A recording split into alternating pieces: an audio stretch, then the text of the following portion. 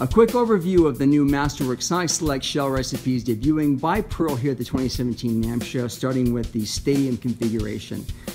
A modern interpretation of the classic CZX or thick ply 8 and 10 ply all maple shell for the high volume environment, coming over here to the modern dry new territory for Pearl. A combination of mahogany, gumwood, and maple for articulate dry sound for the modern playing field coming over here to the new urban recipe, a combination of birch, maple, and gum woods for quick, articulate, and low thunderous type tone.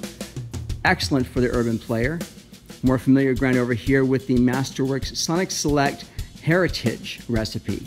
A four ply maple mahogany shell with four ply reinforcement rings, lighter hardware, beautiful thunderous lows, and booming sound.